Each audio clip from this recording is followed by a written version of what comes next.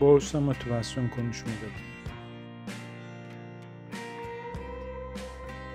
Yaptığın tek işlem 100 işlem arasında sadece bir işlemi temsil eder.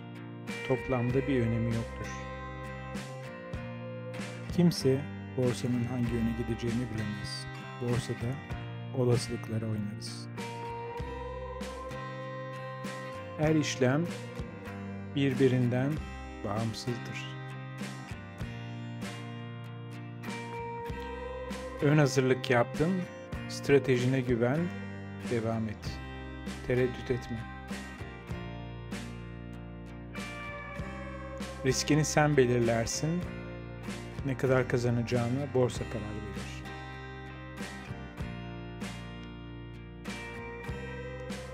Her işlem yeni bir maçtır.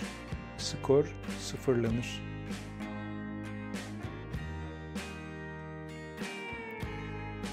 Amaç stratejiyi takip etmektir. Para ikincildir. Başarılı bir işlemin en önemli unsuru kendini kontrol etmektir.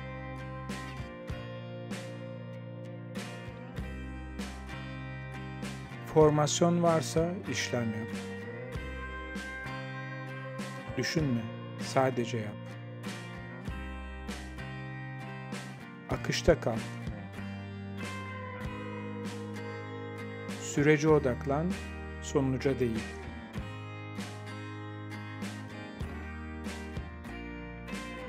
Yanlış olduğunu kabul edersen yaptığın işlemin, işlem yanlış olduğunda kafan çelişkiye düşmez.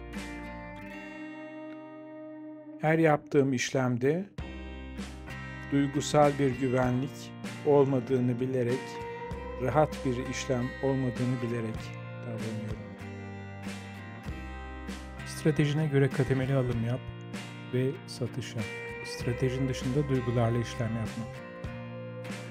Borsada formasyonlarınızı işlem yapın, duygularınızı değil.